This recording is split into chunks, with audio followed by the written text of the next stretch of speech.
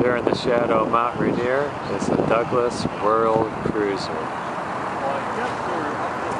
arrived to prepare for their circumnavigation of the globe. The Douglas World Cruisers arrived at Sand Point following their test hops from the Douglas Aircraft Company in Santa Monica, California.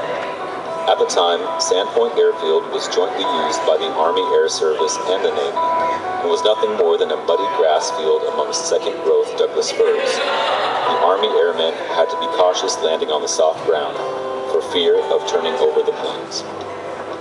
Sand Point worked as the starting location for the westbound world flight because it was considered to be the last airfield on the way to Alaska.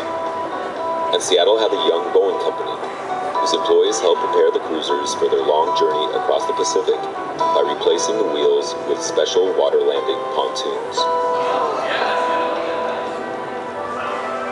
It was here in Seattle that the planes were christened the Seattle, Chicago, Boston, and New Orleans. The four planes left Sand Point on April 6, 1924, officially starting their race around the world.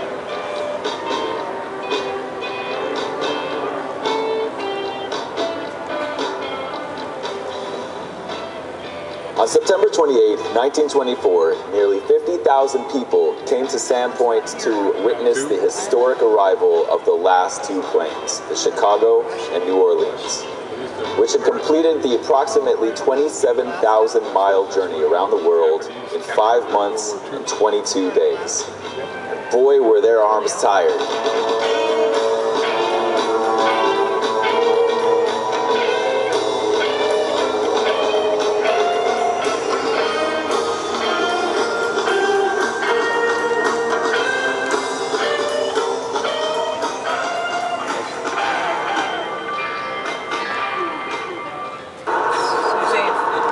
Like the wings fold so you could get it in the garage. there was a prototype and then just hmm, four.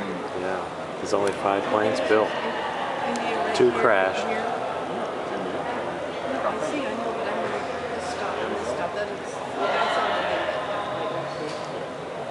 is a model of the Douglas World Cruiser, a bomber built between World War I and World War II.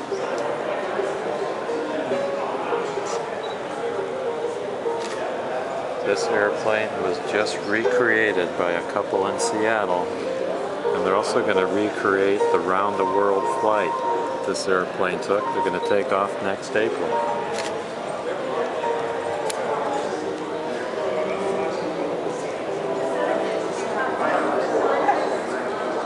This is a clock from the Seattle World Cruiser Project.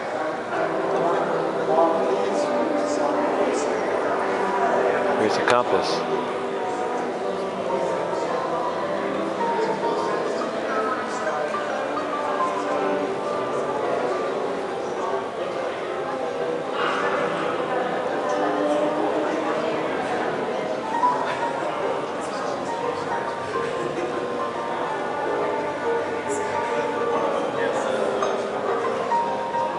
This is the map of the round the world route.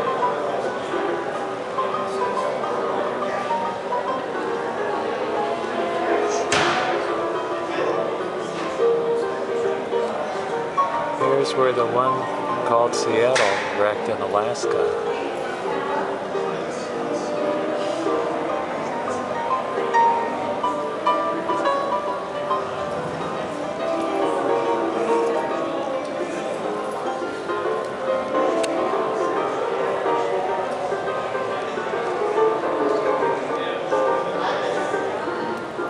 Huge engine, 12 cylinders. Liberty 12.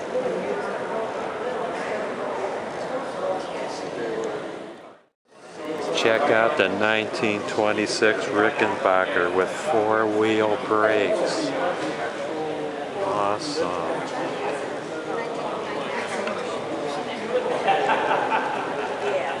We're at the Museum of Flight, by the way.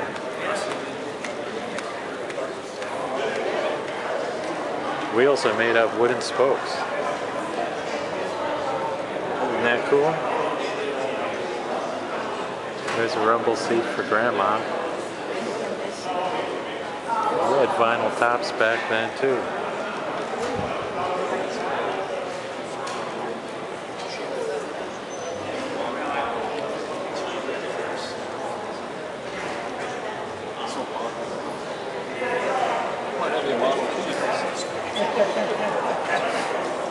Excuse me?